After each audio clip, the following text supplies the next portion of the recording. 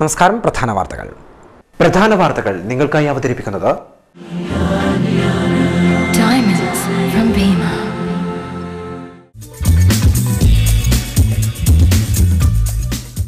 മനോജ് വധം പി ജയരാജന്റെ കസ്റ്റഡി കാലാവധി അടുത്ത മാസം എട്ട് വരെ നീട്ടി. ജയരാജനെ പൂർണമായും കസ്റ്റഡിയിൽ വിട്ടുകിട്ടണമെന്നാവശ്യപ്പെട്ട് സി ബി ഐ നാളെ ഹർജി നൽകും. സിബിഐ നടത്തുന്നത് പാർട്ടിയെയും പി ജയരാജനെയും അപമാനിക്കുന്ന മാധ്യമ വിചാരണയെന്ന് എം വി ജയരാജൻ.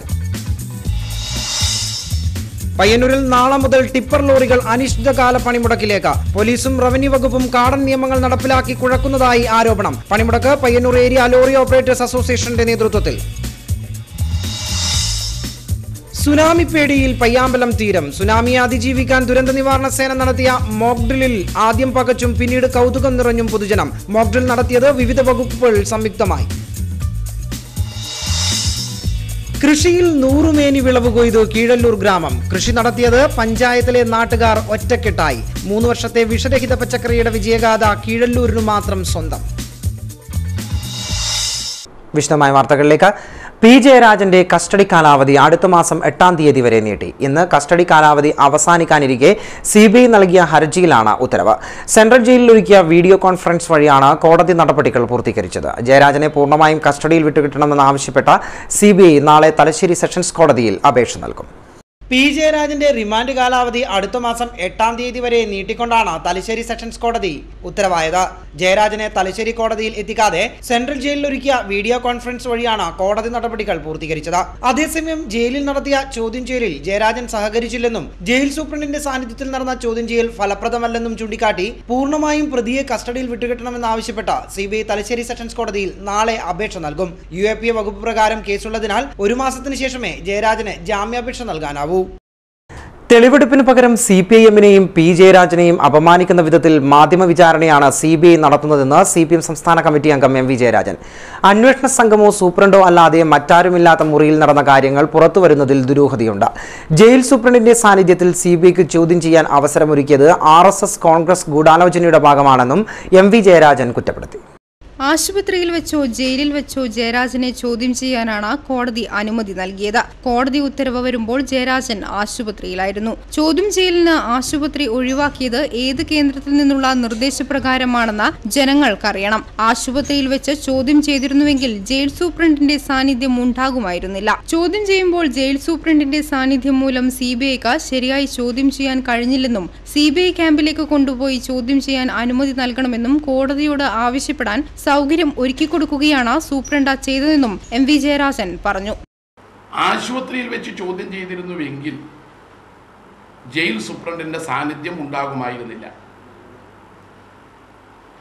ഇപ്പോൾ ലഭിച്ച റിപ്പോർട്ടുകൾ വ്യക്തമാക്കുന്നത് ജയിൽ സൂപ്രണ്ടിന്റെ സാന്നിധ്യത്തെ കുറിച്ച് അന്വേഷണ സംഘത്തിന് നീരസമുണ്ട്.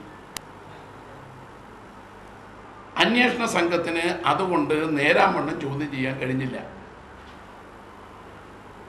അന്വേഷണ സംഘം കോടതിയിൽ ഹരജി കൊടുക്കാൻ പോകുന്നു.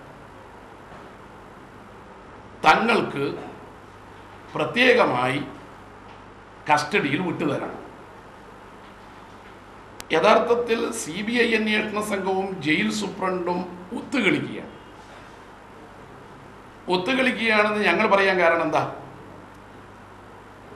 സി ബി ഐയുടെ പ്രത്യേക കസ്റ്റഡിയിൽ ഒരു മൂന്നാം മുറ നടത്താൻ പറ്റുന്ന കേന്ദ്രത്തിലേക്ക് ജയരാജനെ വിട്ടുകിട്ടണമെന്നുള്ള മോഹം സി ബി ഐക്കുണ്ട് ആർ എസ് എസ് കോൺഗ്രസ് രാഷ്ട്രീയ ഗൂഢാലോചനയുടെ ഭാഗമാണിത്. അന്വേഷണ സംഘമോ സൂപ്രണ്ടോ അല്ലാതെ മറ്റാരുമില്ലാത്ത മുറിയിൽ നടന്ന കാര്യങ്ങൾ എങ്ങനെ പുറത്തുവന്നുവെന്നും എം വി ജയരാജൻ ചോദിച്ചു. ചോദ്യം ചെയ്യുന്ന സ്ഥലത്തുണ്ടായിരുന്നവരുടെ സെൽഫോൺ കോൾ ലിസ്റ്റുകൾ പരിശോധിക്കണം.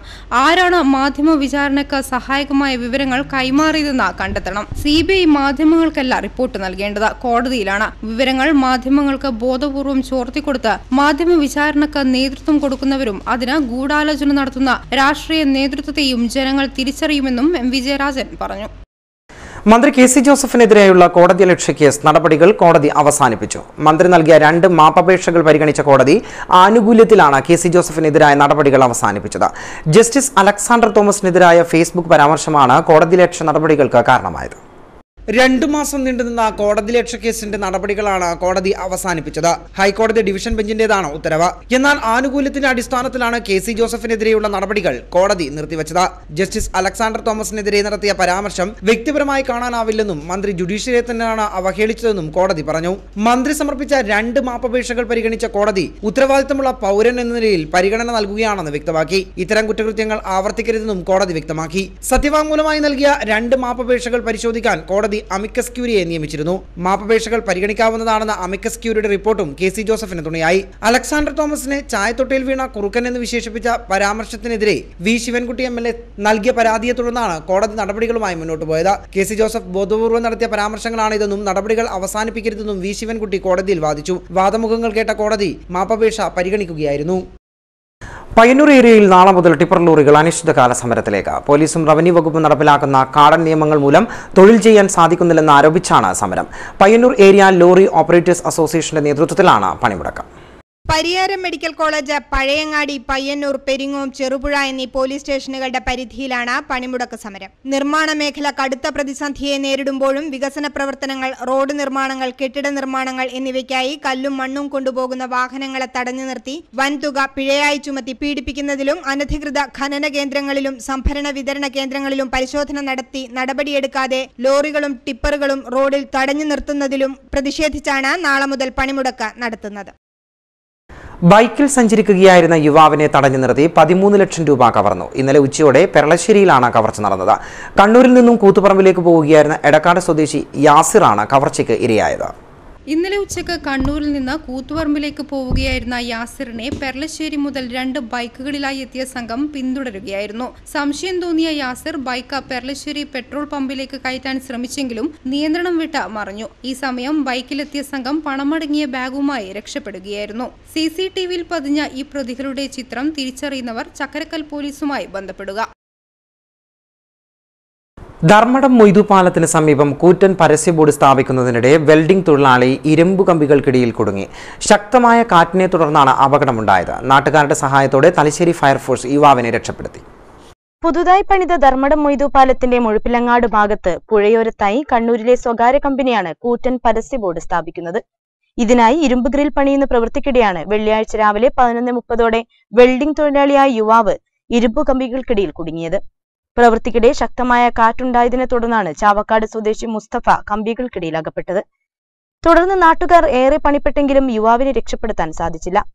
വിവരമറിഞ്ഞ് തലശ്ശേരിയിൽ നിന്നെത്തിയ ഫയർഫോഴ്സ് ജീവനക്കാർ കട്ടർ ഉപയോഗിച്ച് ഇരുമ്പ് കമ്പികൾ മുറിച്ചുമാറ്റിയാണ് പന്ത്രണ്ട് മണിയോടെ യുവാവിനെ കമ്പികൾക്കിടയിൽ നിന്ന് പുറത്തെടുത്തത്. ധർമ്മടം പോലീസും രക്ഷാപ്രവർത്തനത്തിൽ പങ്കെടുത്തു. തുടർന്ന് യുവാവിനെ തലശ്ശേരി ജനറൽ ആശുപത്രിയിൽ പ്രവേശിപ്പിച്ചു. ഇരുമ്പ് കമ്പി വീണ് പരിക്കേറ്റ ഹരിപ്പാട് സ്വദേശി ഷോബുവും ആശുപത്രിയിൽ ചികിത്സ തേടി. ഇനി ഒരു ഇടവേള. ഇടവേളയ്ക്ക് മുമ്പായി പ്രധാന വാർത്തകൾ ഒരിക്കൽ കൂടി. പ്രധാന വാർത്തകൾ നിങ്ങൾക്കായി അവതരിപ്പിക്കുന്നത്.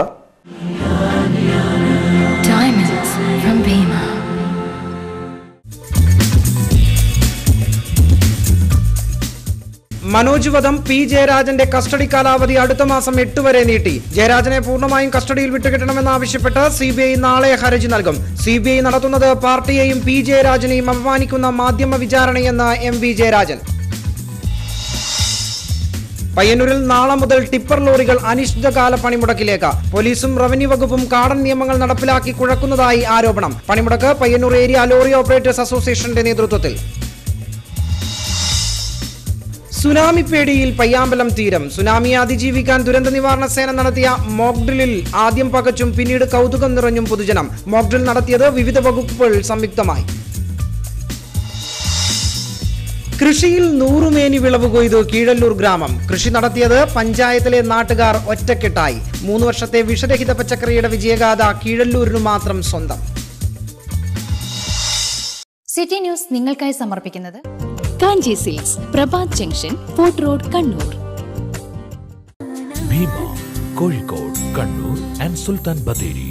Educational empowerment and welfare cooperative society ECOS Kannur head office and main branch Vichitra complex Caltex Kannur Koyili heart centre Koyili hospital Kannur Cater Circle near Old Subway, Parakandi, Kannur. Contact 9895 ചെമനോ international jewellers Kerala Tamilnadu Maharashtra U A E Kuwait Medicity international academy Chettipeedika Kannur. തിരഞ്ഞെടുക്കൂ Medicity ഭദ്രമാക്കൂ നല്ല ഭാവി. Dhanalakshmi hospitals Kannur. Care and cure with dedication Susheela auto garage and workshop Thottada. Phone zero four nine seven two eight three five double zero nine വാർത്തകൾ തുടരുന്നു. Tsunami പേടിയിൽ Payyambalam തീരം. സുനാമിയെ അതിജീവിക്കാനും രക്ഷാപ്രവർത്തനങ്ങൾ നടത്തുന്നതിനും ബോധവൽക്കരണം നടത്തുന്നതിനായി ദുരന്ത നിവാരണ സേന നടത്തിയ മോക്ക് ഡ്രിൽ ആദ്യം ആശങ്കയും പിന്നീട് അറിവും പകരുന്നതായി. വിവിധ വകുപ്പുകളുടെ സഹായത്തോടെ ദുരന്ത നിവാരണ സേനയാണ് മോക്ക് ഡ്രിൽ സംഘടിപ്പിച്ചത്. പെട്ടെന്നൊരു സുനാമി വന്നാൽ എന്തു ചെയ്യും? പകച്ചു നിൽക്കും എന്നാണ് മറുപടിയെങ്കിൽ ഇനി അത് വേണ്ടെന്നാണ് സർക്കാരിന്റെ വിവിധ വകുപ്പുകൾ പറയുന്നത്. പയ്യാമ്പലം ബീച്ചിൽ ഉച്ചയോടെ രണ്ട് ബോട്ടുകൾ എടുത്തപ്പോൾ ആദ്യം കൗതുകം തോന്നി. എന്നാൽ നിമിഷങ്ങൾക്കകം ബോട്ടിൽ നിന്ന് ആളുകൾ കടലിൽ വീണ് മുങ്ങിത്താണപ്പോൾ കൗതുകം ആശങ്കയ്ക്ക് വഴിമാറി. സുനാമി വരുന്നുണ്ടെന്ന പോലീസിന്റെ മുന്നറിയിപ്പും കൂടിയായപ്പോൾ ഭയമേറി. പെട്ടെന്നാണ് ട്രോമ കെയർ യൂണിറ്റ് വളണ്ടിയർമാരും അഗ്നിശമന സേനയും സ്ട്രക്ചറും മറ്റു ഉപകരണങ്ങളുമായി കടലിലേക്കിറങ്ങി രക്ഷാപ്രവർത്തനം ആരംഭിച്ചത്. നിമിഷങ്ങൾക്കകം ആരോഗ്യ വകുപ്പിന്റെ ടെന്റ് ബീച്ചിൽ ഉയർന്ന് അപകടത്തിൽപ്പെട്ടവർക്ക് പ്രാഥമിക ചികിത്സ നൽകി. പുറകെ ആംബുലൻസിൽ പരിക്കേറ്റവരെ ആശുപത്രിയിലേക്ക് മാറ്റുന്നു. പോലീസ് നിർദ്ദേശം നൽകുന്നു. അക്ഷരാർത്ഥത്തിൽ പകച്ചു നിൽക്കുമ്പോഴാണ് സുനാമി ദുരന്തം നേരിടാൻ വിവിധ വകുപ്പുകളെ സജ്ജമാക്കാനും പൊതുജനങ്ങളെ ബോധവൽക്കരിക്കാനുമുള്ള മോക്ക് ഡ്രിൽ ആണ് നടന്നതെന്ന് പോലീസ് പറയുന്നത്.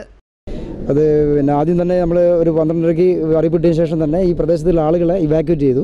അതായിരുന്നു ആദ്യത്തെ പ്രോസസ്സ് പിന്നെ ഇവിടേക്ക് വരുന്ന അനാവശ്യമായ ആളുകൾ ഇങ്ങോട്ട് കടപ്പുറത്തേക്ക് വരുന്നത് നമ്മൾ തടയുന്നതിന് വേണ്ടി റോഡിൽ ബ്ലോക്ക് ഇടുകയും. പിന്നെ ആളുകളൊക്കെ ഇവിടെ മാറ്റിയതിന് ശേഷം ഒരു മൂന്നരയ്ക്ക് ശേഷം നമ്മൾ പിന്നെ ഓഫീഷ്യൽസ് അടക്കം എല്ലാവരും തീരത്ത് മാറിപ്പോവുകയാണ് ചെയ്തത്. അതിനുശേഷം ഇതിന്റെ എഫക്റ്റ് പോയതിന് ശേഷമാണ് നമ്മൾ ഈ ടീം ഇവിടേക്ക് വരുന്നതും ടെന്റൊക്കെ കെട്ടി. മെഡിക്കൽ ടീമും എല്ലാവരോടും ചേർന്ന് ഇവരെ പിന്നെ ഈ പിന്നെ സുനാമിയിലുണ്ടായ അപകടം പറ്റിയ ആളുകളെ പിന്നെ തീരത്തു നിന്ന് പിന്നെ കടലിൽ ഒഴുകിപ്പോയ ആളുകൾ പിന്നെ കടലിൽ ഒലിച്ചു പോയ ആളുകൾ അവരെ പിന്നെ ബോട്ടിൽ രക്ഷപ്പെടുത്തിയ ആളുകളെല്ലാം നമ്മൾ പെട്ടെന്ന് തന്നെ കരയിലേക്ക് കൊണ്ടുവന്ന് ഫസ്റ്റ് എയ്ഡ് കൊടുത്ത് പെട്ടെന്ന് തയ്യാറാക്കി നിർത്തി പിന്നെ ആംബുലൻസിൽ കയറ്റി വിടുകയുണ്ടായത് മെഡിക്കൽ അതിന്റെ തുടർ ചികിത്സയൊക്കെ പിന്നെ ജില്ലാ ആശുപത്രി നടക്കുന്നുണ്ട്. ജില്ലയിലെ എല്ലാ വകുപ്പുകളുടെയും അടിയന്തര രക്ഷാപ്രവർത്തന സംവിധാനങ്ങൾ സുസജ്ജമാക്കി നിർത്തുക എന്ന ലക്ഷ്യത്തോടെയാണ് മോക്ക് ഡ്രിൽ സംഘടിപ്പിച്ചത്. റവന്യൂ വകുപ്പ് പോലീസ് ആരോഗ്യ വകുപ്പ് അഗ്നിശമന സേന കെ എന്നിവയ്ക്കു പുറമെ marine enforcement fisheries coastal police എന്നീ വകുപ്പുകളും മോക്ക് ഡ്രില്ലിൽ അണിനിരന്നു. വേനൽ കടുത്തതോടെ കൊടും ചൂടിൽ വലഞ്ഞ് കണ്ണൂർ. മുപ്പത്തി ഒൻപത് ഡിഗ്രി താപനില രേഖപ്പെടുത്തിയ ജില്ലയിലെ തോടുകളും പുഴകളും വറ്റി കുടിവെള്ളക്ഷാമത്തിലേക്ക് നീങ്ങുകയാണ്. സംസ്ഥാനത്ത് ഏറ്റവും കൂടിയ ചൂട് രേഖപ്പെടുത്തിയതും ജില്ലയിലാണ്. പൊള്ളുന്ന ചൂടിൽ ആകെ വിയർത്ത് കണ്ണൂർ ഉരുകുകയാണ്. സംസ്ഥാനത്തെ ഏറ്റവും ചൂടുകൂടിയ ജില്ലയായ കണ്ണൂരിൽ മുപ്പത്തിയൊൻപത് ഡിഗ്രി സെൽഷ്യസ് ആണ് താപനില രേഖപ്പെടുത്തിയത്. വടക്കൻ ജില്ലകളിലാണ് ചൂട് ക്രമാതീതമായി വർദ്ധിച്ചിരിക്കുന്നത്. എൽനിനോ പ്രതിഭാസം നിലനിൽക്കുന്നതിനാൽ താപനില ഇനിയും വർദ്ധിക്കുമെന്നാണ് കാലാവസ്ഥാ നിരീക്ഷണ കേന്ദ്രത്തിന്റെ മുന്നറിയിപ്പ്. പലയിടങ്ങളിലും പുഴകളും തോടുകളും വറ്റിക്കഴിഞ്ഞു. കുടിവെള്ളക്ഷാമത്തിലേക്ക് മലയോര പ്രദേശങ്ങൾ ഉൾപ്പെടെ നീങ്ങിക്കൊണ്ടിരിക്കുകയാണ്. ചിലയിടങ്ങളിൽ ഒറ്റപ്പെട്ട മഴ ലഭിക്കുമെങ്കിലും ഇത് ചൂട് കുറയ്ക്കാൻ സഹായകമാകില്ല. ചൂടുകൂടിയ സാഹചര്യത്തിൽ പുറം പണിയെടുക്കുന്നവർ മുൻകരുതലെടുക്കണമെന്ന് കാലാവസ്ഥാ നിരീക്ഷണ കേന്ദ്രം മുന്നറിയിപ്പ് നൽകിയിട്ടുണ്ട്. തലശ്ശേരിയിൽ കടലിൽ ചാടി യുവാവ് ജീവനൊടുക്കി. ഇന്ന് രാവിലെ കടൽപ്പാലത്തിൽ നിന്നാണ് യുവാവ് കടലിലേക്ക് എടുത്തു ചാടിയത്. വിവരം അറിഞ്ഞ് പോലീസും ഫയർഫോഴ്സും സ്ഥലത്തെത്തിയെങ്കിലും ജീവൻ രക്ഷാ ഉപകരണങ്ങൾ ഇല്ലാത്തതിനാൽ യുവാവിന്റെ ജീവൻ രക്ഷിക്കാനായില്ല. രാവിലെ വീട്ടിൽ നിന്നും ഇറങ്ങിയതാണ് അർജുൻ. ബർമുടിയും നീല ടീഷർട്ടും ധരിച്ചെത്തിയ യുവാവ് കടൽപ്പാലത്തിന്റെ കടലിലേക്ക് നീളുന്ന ഭാഗത്ത് നിന്ന് മെയ്യഭ്യാസം കാട്ടുന്നതും പൊടുന്നിനെ എടുത്തു ചാടുന്നതും ചിലർ കണ്ടിരുന്നു. ഇവർ ബഹളം വെച്ച് ആളുകൾ ഓടിയെത്തുന്നതിനിടയിൽ യുവാവ് കടലിൽ താണു. വിവരമറിഞ്ഞ് അഗ്നിശമന സേനയും പോലീസും എത്തിയെങ്കിലും ജീവൻ രക്ഷാ ഉപകരണങ്ങൾ കൈവശമില്ലാത്തതിനാൽ ഇരു സേനകൾക്കും നിസ്സഹായരായി കരയിൽ നോക്കി നിൽക്കാനേ കഴിഞ്ഞുള്ളൂ.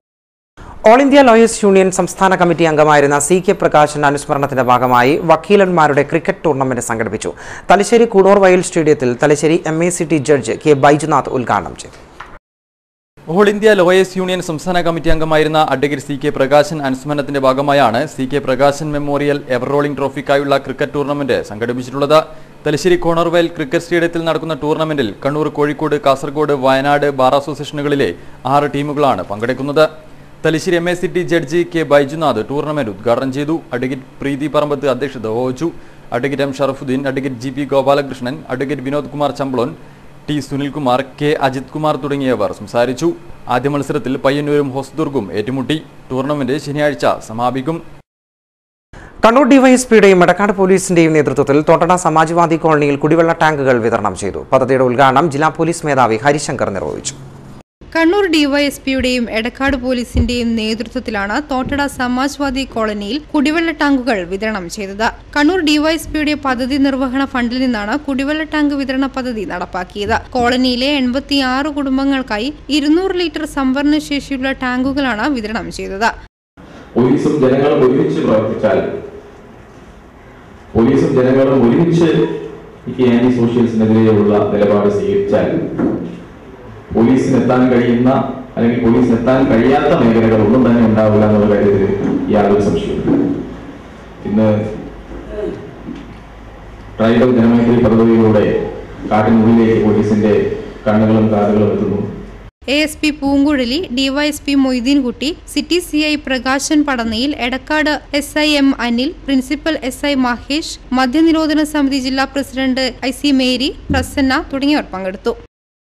വൈദ്യുതി തൂണുകൾ മാറ്റി സ്ഥാപിക്കാൻ നടപടിയായി. Valapattanam Thottada J T S junction bypass പദ്ധതിയുടെ പ്രയോജനം ഇല്ലാതാക്കും വിധം നിലനിന്നിരുന്ന വൈദ്യുതി തൂണുകളാണ് മാറ്റാൻ തീരുമാനമായത്. തൂണുകൾ മാറ്റാനുള്ള അപേക്ഷ കെ എസ് വൈകി ലഭിച്ചതാണ് പ്രശ്നത്തിന് കാരണമായത്.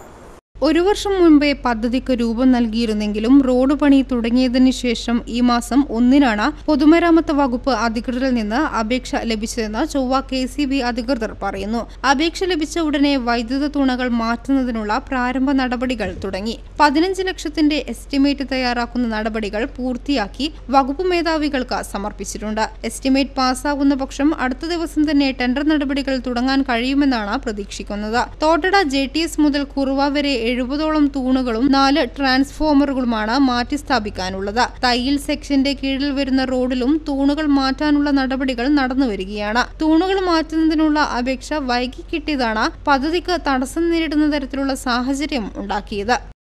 ചക്രക്കൽ കീഴല്ലൂർ ഗ്രാമപഞ്ചായത്തിലെ നാട്ടുകാർ ഒറ്റക്കെട്ടായി മണ്ണിലിറങ്ങിയപ്പോൾ വിളഞ്ഞത് നൂറുമേനി. വിഷരഹിത ജൈവ പച്ചക്കറി എന്ന ആശയവുമായി കഴിഞ്ഞ മൂന്ന് വർഷക്കാലമായി വിജയകാതരിച്ചിരിക്കുകയാണിവർ. തക്കാളിയും പച്ചമുളകും മുതൽ ചൂടുകാലത്ത് തണുപ്പേകാനായി തണ്ണിമത്തൻ വരെ ഇവിടെ സുലഭം. കൊച്ചുകുട്ടികൾ മുതൽ പ്രായമായവർ വരെ കൈമേയി മറന്ന് മണ്ണിൽ പണിയെടുത്ത് പച്ചക്കറി വിളയിച്ചപ്പോൾ അത് നാടിന്റെ തന്നെ കൂട്ടായ്മയാവുകയാണ്. കീഴല്ലൂർ പഞ്ചായത്തിലെ പന്ത്രണ്ട് ഏക്കർ പാടത്ത് മുപ്പത് ഗ്രൂപ്പുകളായി തിരിഞ്ഞ് വിവിധ പച്ചക്കറി ഇനങ്ങളാണ് കൃഷി ചെയ്യുന്നത്.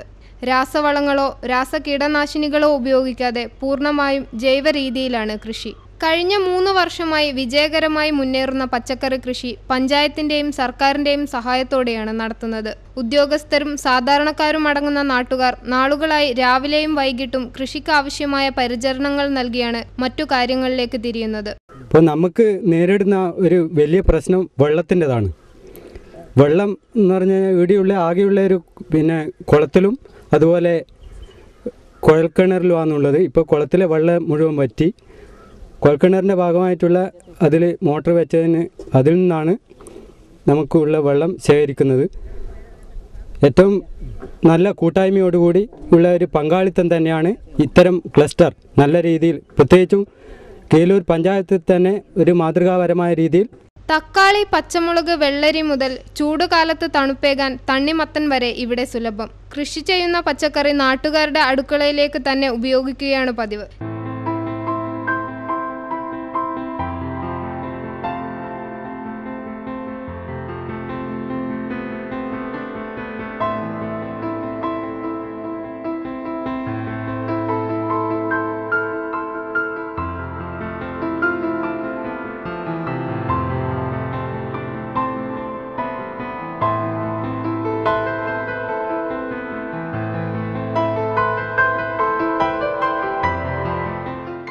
കൃഷി കുറച്ച് വിപുലമാക്കി ഒരു പച്ചക്കറി ചന്ത തുടങ്ങണമെന്ന ആഗ്രഹവും കർഷകർക്കുണ്ട്. എന്നാൽ ജലലഭ്യതയാണ് ഇതിന് വിലങ്ങുതടിയാവുന്നത്. പഞ്ചായത്തിന്റെ സഹകരണത്തോടെ ഇതിനു പരിഹാരം കാണാൻ കഴിയുമെന്നും ഇവർ പ്രതീക്ഷിക്കുന്നു.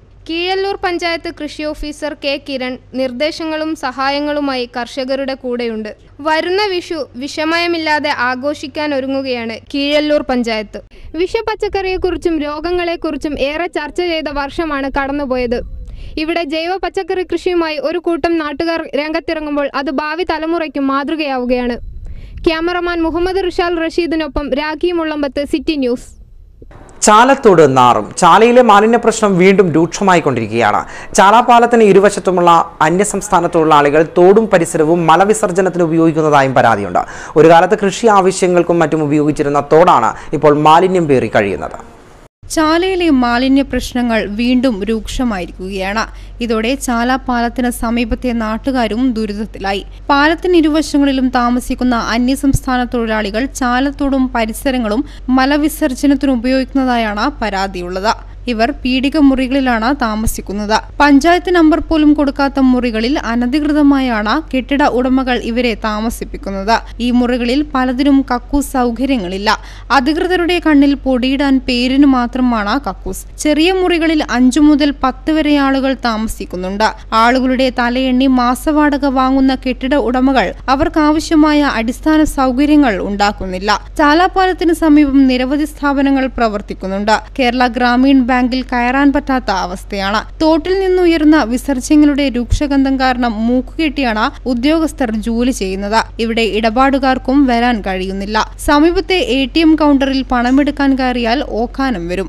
സമീപത്തെ വീട്ടുകാരും ദുരിതത്തിലാണ്. വീടിനു പുറത്ത് ഇറങ്ങാൻ കഴിയാത്ത അവസ്ഥ. ചാലത്തോട് വളരെ മനോഹരമായ നീരൊഴുക്കുള്ള ഒരു തോടായിരുന്നു.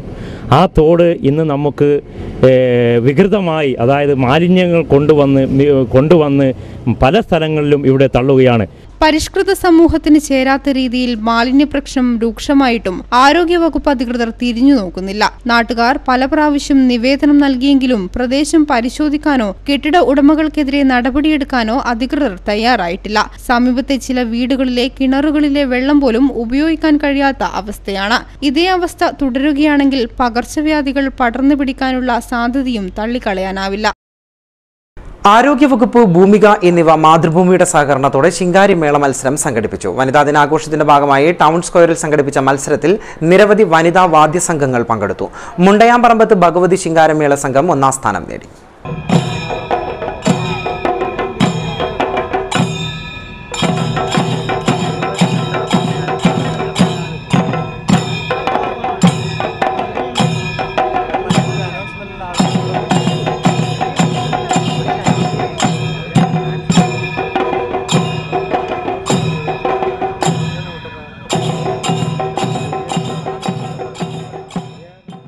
Kerala government junior public health nurse and supervisors union സമ്മേളനം നടന്നു. പോലീസ് കോപ്പറേറ്റീവ് സൊസൈറ്റി ഓഡിറ്റോറിയത്തിൽ A P Abdulkutty M L A ഉദ്ഘാടനം ചെയ്തു.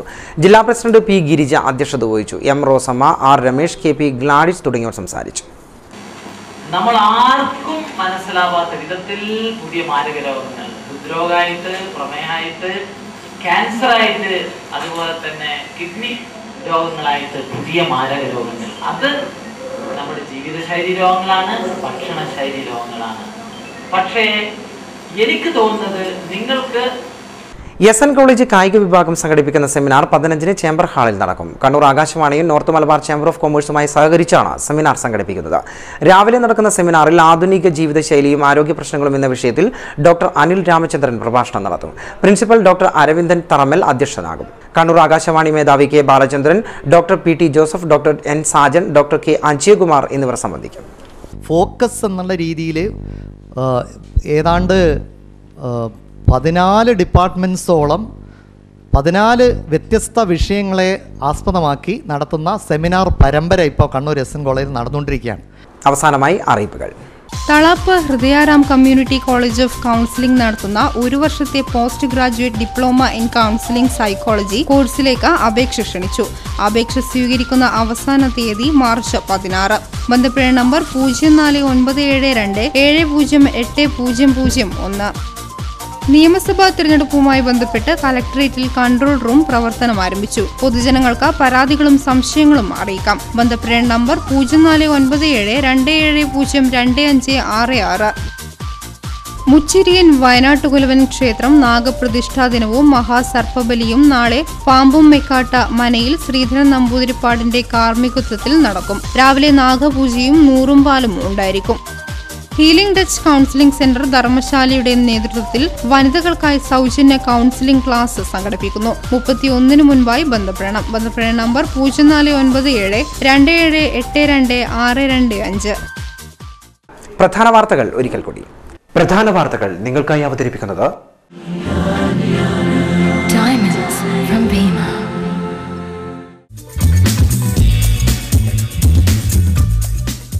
മനോജ് വധം പി ജയരാജന്റെ കസ്റ്റഡി കാലാവധി അടുത്ത മാസം എട്ട് വരെ നീട്ടി. ജയരാജനെ പൂർണമായും കസ്റ്റഡിയിൽ വിട്ടുകിട്ടണമെന്നാവശ്യപ്പെട്ട് സി ബി ഐ നാളെ ഹർജി നൽകും. സി ബി ഐ നടത്തുന്നത് പാർട്ടിയെയും പി ജയരാജനെയും അപമാനിക്കുന്ന മാധ്യമ വിചാരണയെന്ന് എം വി ജയരാജൻ. പയ്യന്നൂരിൽ നാളെ മുതൽ ടിപ്പർ ലോറികൾ അനിശ്ചിതകാല പണിമുടക്കിലേക്ക്. പോലീസും റവന്യൂ വകുപ്പും കാടൻ നിയമങ്ങൾ നടപ്പിലാക്കി കുഴക്കുന്നതായി ആരോപണം. പണിമുടക്ക് പയ്യന്നൂർ ഏരിയ ലോറി ഓപ്പറേറ്റേഴ്സ് അസോസിയേഷന്റെ നേതൃത്വത്തിൽ.